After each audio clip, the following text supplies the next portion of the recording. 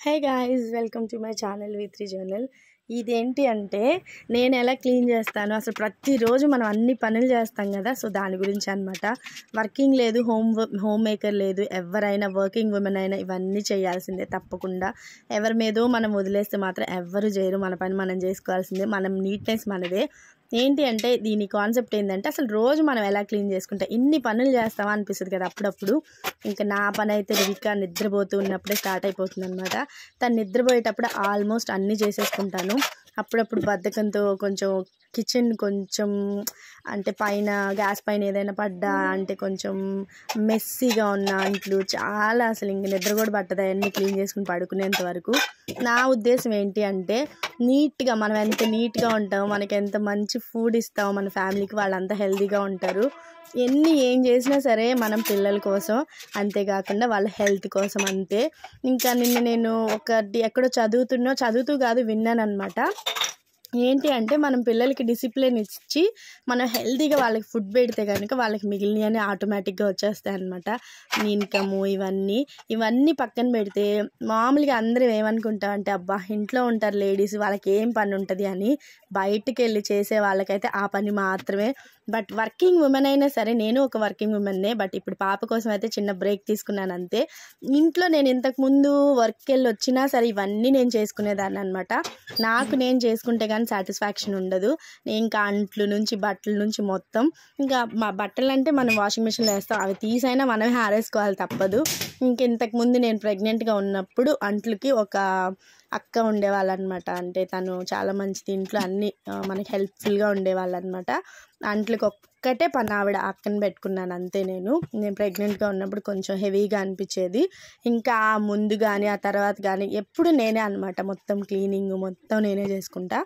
చాలా మందికి డౌట్ రావచ్చు అనమాట ఇవన్నీ మీరు చేసుకునే మేము చూడాలని. మీరు చూడాలి అని కాదు. ఇదంతా ఏంటి అంటే ఒక జస్ట్ మోటివేషనల్గా ఇన్స్పిరేషనల్గా ఉంటుంది.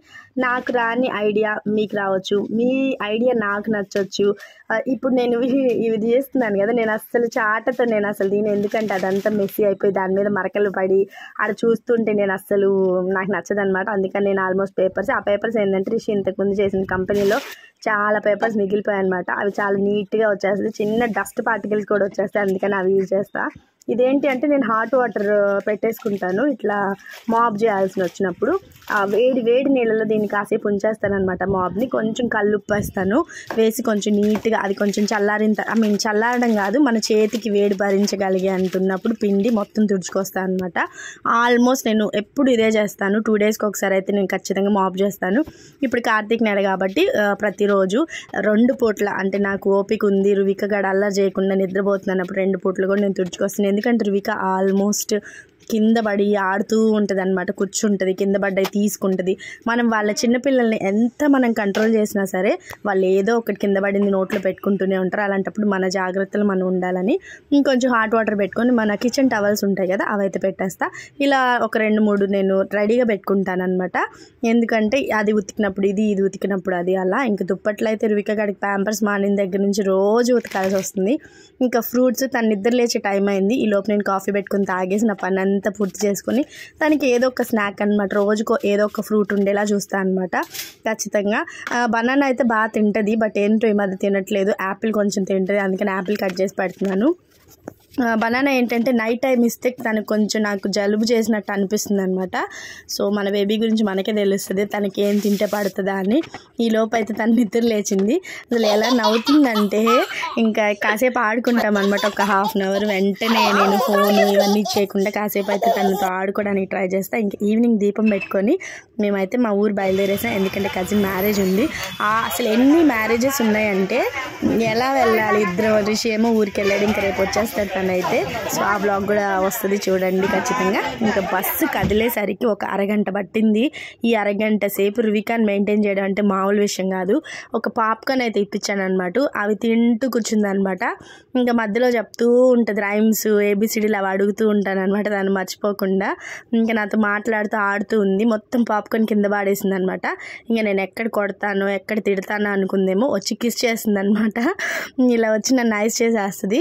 ఇంకా రువిక గాడితో అసలు ఫుల్ అంటే బస్ త్వరగా కదిలితే ఆ పాటికి మేము వెళ్ళిపోయి ఉండాల్సింది బట్ లేట్గా స్టార్ట్ అయింది. ఎంత లగేజ్ వేస్తూనే ఉన్నారనమాట బస్సుల్లో ఈ మధ్య లగేజ్లు వేసుకోవడం పెద్ద ప్రాబ్లమాటిక్ అయిపోయింది. ఇంక ఇంటికైతే వచ్చేసాం. ఇంకా మా కోసం చెల్లెలు అన్నీ రెడీ చేసి పెట్టేసింది. తను కూడా రెడీ అయిపోయింది. ఇంకా తను ఆల్రెడీ వెళ్ళొచ్చేసింది. బావ వాళ్ళు అండ్ నా కజిన్ సిస్టర్ ఇద్దరు ఇంట్లో వాళ్ళు అనమాట చుట్టాలే. అండ్ బావ వాళ్ళకి ఇది విడిదిల్లు.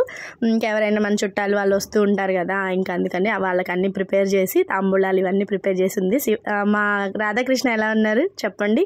బ్లాగ్స్ నచ్చితే కనుక లైక్ షేర్ అండ్ సబ్స్క్రైబ్.